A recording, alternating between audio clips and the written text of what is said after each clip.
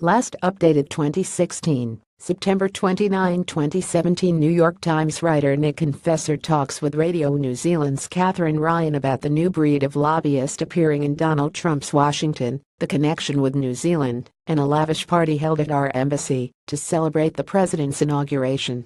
It was the fortuitous sniff of a dog that led to Prime Minister Bill English sharing his phone call with United States President Donald Trump.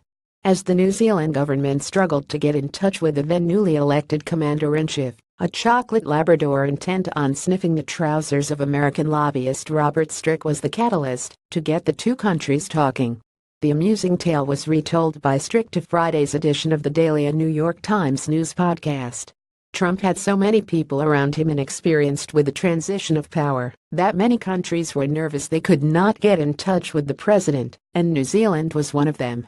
It was while smoking a cigar on the patio of the Four Seasons Hotel in Georgetown, Washington, D.C., when Stryk encountered the curious Labrador who happened to be owned by the deputy ambassador from New Zealand, Carolyn Beresford.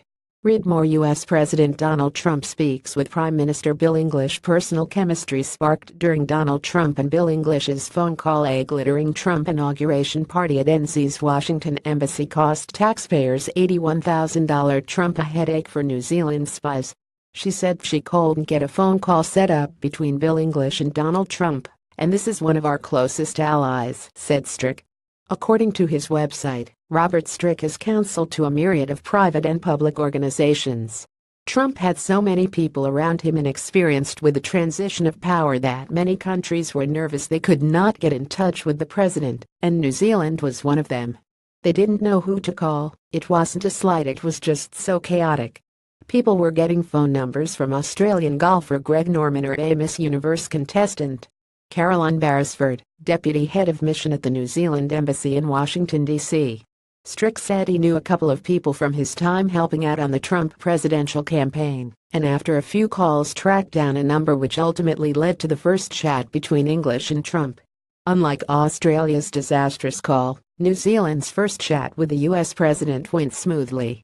At the time it was reported the two leaders talked about trade, national security, and New Zealand's contribution to the fight against Islamic State.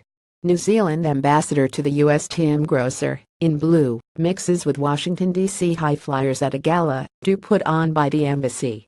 From there Stryk help to organize a glittering Trump inauguration party at New Zealand's Washington embassy which cost Kiwi taxpayers more than $80,000. Among the 320 guests, hosted by New Zealand Ambassador Tim Groser, were influential Trump insiders, business leaders, military and government figures and the odd Hollywood celebrity.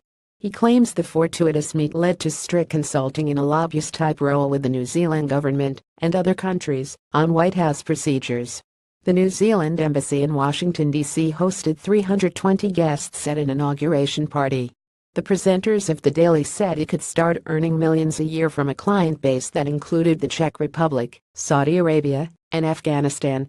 All countries have one, even the Catholic Church has a lobbyist, said Stryk. Earlier this month a New York Times journalist told Radio New Zealand the contract with Stryk ended during the American summer. The Ministry of Foreign Affairs and Trade has been approached for comment. Stuff.